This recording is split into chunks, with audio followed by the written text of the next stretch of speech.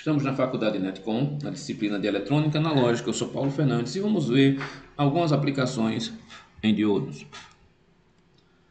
Então veja, é, primeiramente vamos ver a, uma, uma coisa interessante no diodo. Se eu estiver com o diodo conectado a uma resistência, certo? Tem uma fonte de energia, uma fonte CC conectada a um diodo e o diodo conectado a uma resistência. Na polarização direta, eu vou ver que a tensão vai passar pelo diodo, então vou ter uma tensão VD, onde eu tenho uma queda de tensão, no caso do diodo de silício 0.7 volt, um diodo ideal 0 volt e tem uma corrente. Nesse caso, a corrente máxima passada por ele. E vou ver a corrente também na resistência e também eu terei uma queda de tensão VR sobre o meu resistor. Okay? Neste caso, onde eu tenho uma curva né, de tensão direta, a polarização direta do diodo, eu tenho a tensão de joelho nós foi um diodo de silício até 0.7 volts, temos a tensão de joelho, ele vai conduzir tudo. Se eu tiver agora a minha tensão, veja, aqui está a curva do meu diodo, mas como é que eu faço a curva agora desse circuito sem o diodo, considerando apenas o resistor? O que, é que vai acontecer? Se eu observar é, quando não tenho corrente, não tendo corrente sobre ele, a tensão máxima que eu tiver, se eu fizer aqui um curto-circuito completo, né? A tensão que eu vou ver máxima é a tensão E, quando minha corrente é zero. E tendo a tensão zero, eu verei que corrente. Minha corrente, é claro, que vai ser a minha tensão dividida pela resistência. Então, a minha tensão pela resistência máxima vai ser E. Se eu fazer a curva desses dois gráficos, eu teria um ponto Q, que é um ponto entre a reta de carga do circuito corta a curva característica do diodo, tendo um ponto de consumo energético entre eles, onde eu tenho um VD ideal, um VDQ e um IDQ. Então, se eu pegar isso aqui e aplicar a lei de Kirchhoff, o que é que eu vou ter? Eu tenho que meu E vai ser quem? Vai ser a queda de tensão do diodo menos a queda de tensão do resistor, e tudo isso tem que ser igual a zero. Então, minha tensão total é a queda de tensão do diodo mais a queda de tensão do resistor. Que, quem é a queda de tensão? É a minha corrente vezes a minha resistência a corrente que eu tenho no diodo vezes a resistência. Com isso, eu posso, dizer, posso identificar quem é a minha corrente. Veja, se meu VD é zero, então meu I vai ser zero, vai ser quem? ID, I vai ser zero dividido por R, vai dar zero. Se eu quero agora ver a minha tensão e a minha corrente é zero, porque eu fiz um curto, então estou com a corrente zero, então quem vai ser o meu VD? Meu VD vai ser apenas o E, meu VD vai ser o E, ok? Que é igual a zero. Então, nesse caso, eu tenho os dois pontos próximos dessa minha curva, minha reta de carga e o ponto de equilíbrio entre o meu circuito, quanto eles vão consumir efetivamente de corrente, onde eu tenho a corrente máxima do diodo, corrente máxima, perdão, do meu circuito, mas que corrente efetivamente esse circuito está consumindo? A corrente IDQ. E que tensão? A tensão VDQ. Ok? Então, aqui nós temos é, um pequeno exemplo que pode ser aplicado onde são determinadas a corrente é, da tensão. Então você tem o mesmo circuito onde eu coloquei em valores reais. Eu tenho o diodo de silício, tenho uma fonte de 10 volts e tenho uma resistência. Se eu for calcular a corrente, vai ser a tensão dividida pela resistência. Ok, que vai ser quem? Minha tensão 10 volts dividido por 0,5K. Meu diodo aqui é um diodo ideal. Meu diodo aqui é um diodo de silício, não está ofertando nenhuma resistência. Tenho aqui que é 20 mA a corrente que eu, que eu estou vendo a corrente ID do meu circuito. Ok? Então, quem vai ser meu VD? Meu VD vai ser 10 volts, está aqui. Quando o ID, quando o I é zero, minha tensão total é o E, 10 volts. Então, é, na inserção da reta de carga, eu tenho aqui ó, a curva característica do diodo de silício, eu já tenho. E vou calcular meu VR. Meu VR vai ser E minha tensão da fonte menos a queda de tensão no diodo, 0,7, dá 9,22 volts. Se eu considerar isso agora, quem vai ser meu RD? Meu RD vai ser 0,78 volts, considerando a queda de tensão no resistor, dividido por 18,5, que eu tenho aqui, ó, a minha inserção da reta de carga, bom? Com inserção da reta de carga em 20 volts, em 20 mA, eu vou ter 0,8 volts, tá aqui.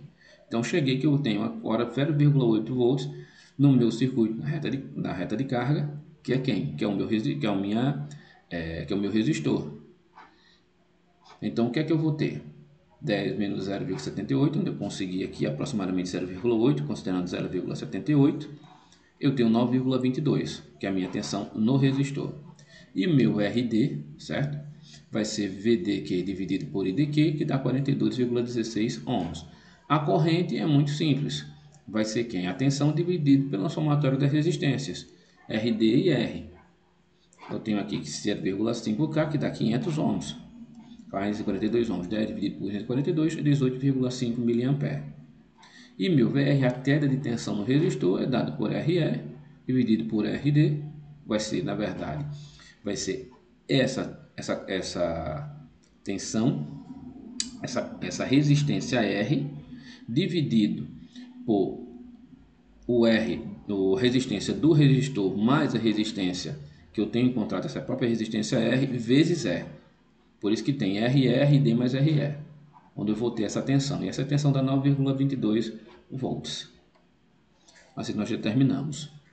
Que nós temos o circuito completo com 10 volts, tem uma queda de tensão no diodo, tem uma resistência no diodo, uma corrente no diodo e a, e a resistência no meu é, resistor e eu tenho uma queda de carga. O circuito está usando aproximadamente 18,5 mA. Aqui nós temos agora a, a ideia da junção de diodos em série. Quando eu junto diodos em série, o que é que acontece? Nesse caso do diodo em série, eu vou ter, por exemplo, um diodo de silício e um, de, e um LED vermelho, passando uma corrente por ele, e no outro lado eu vou ter uma resistência né, ligada em paralelo com esse circuito, o que é que vai servir? O que é que pode ser visto?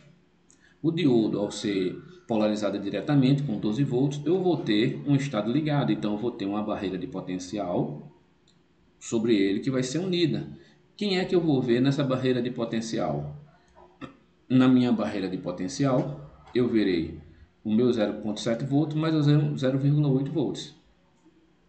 Então eu vou ver um VD total de 1,2 volts. Então eu somo esse meu essa minha barreira de potencial. No caso de visto diodo em paralelo, eu terei não mais a soma do, do diodo, como aconteceu em série. Mas o que é que eu vou ver? Essa mesma barreira, uma mesma barreira de potencial, caso eles sejam iguais, eu vou ver apenas 0,7 volts, mas a minha corrente ela vai ser maior. A minha corrente ela é maior no, nesse circuito, ok? Então, no caso anterior, eu teria uma barreira de potencial maior, e nesse caso agora do diodo em paralelo, eu teria uma uma é, corrente maior a ser vista pelo meu circuito. O diodo também nós podemos ver ele como portas lógicas, certo? dependendo da configuração. Dentro dessa configuração, nós podemos ver uma porta AND e uma porta OR. Uma porta AND, nós temos em portas lógicas, que ele vai funcionar é, se, neste caso, a minha tensão passar por ambas elas, e, e, e, e, por essa e por essa, eu vou ter uma, vou ver aqui no V0 alguma coisa. Então, vamos ver esse circuito. Caso eu veja, por exemplo, aqui, uma porta ou, caso eu tenha duas fontes de tensão ligadas em dois diodos, esse diodo, certo, ligado a um circuito e aterrado aqui por um resistor. O que é que eu vejo em V0? Se eu tiver uma tensão é, em, EVO, em E0, em E1, em V1, certo? Na porta 1, o que é que eu vou ver na 2? A 2 eu tenho 0 volt e como se ele tivesse aterrado. Teremos da superposição, né? Posso analisar por aí. Aqui eu vejo ela aterrada, então minha corrente vai passar toda pelo diodo, minha tensão passar toda pelo diodo. E o que eu verei? Eu verei apenas a tensão V0. Porque a minha outra porta, o meu D2, ele vai estar como uma porta aberta.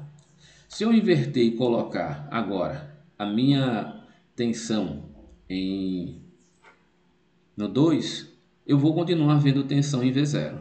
Então, caso eu alimente ou D1 ou D2, eu verei a tensão em V0. Então, aqui é a porta ou. Ou esse ou esse, terei tensão em zero. Quando eu tiver nas duas, eu também vou ver tensão em zero. Caso eu não veja tem Caso eu não tenha tensão nem em D1 nem em D2, e venham em 1 e 2 eu não tenho tensão, então eu não terei nada em V0. Mas se eu tiver alguma tensão em alguma dos dois, ou uma ou outra, essa é a porta OU, eu terei tensão. Nesse caso, nós temos aqui a porta I. Veja, eu tenho uma fonte de tensão é 1, uma fonte de tensão é 2, ligada à porta 1 é 1, ligada à porta 2 é 2, e tenho agora uma outra fonte de tensão de 10 volts ligado a esse resistor. Quando é que eu vou ver tensão aqui em V0? Ok? Nesse caso, se eu carregar, jogar essa tensão pelo resistor, meu diodo está polarizado inversamente. Quando ele está polarizado inversamente, então eu terei uma tensão em E1 e isso vai ser visto como uma é, é, vai ser visto como uma porta aberta. Resultado, aqui também é uma porta fechada, certo? E o que é que eu vou ver no V0? Apenas a barreira de potencial de 0,7 volts, então meu nível aqui é baixo.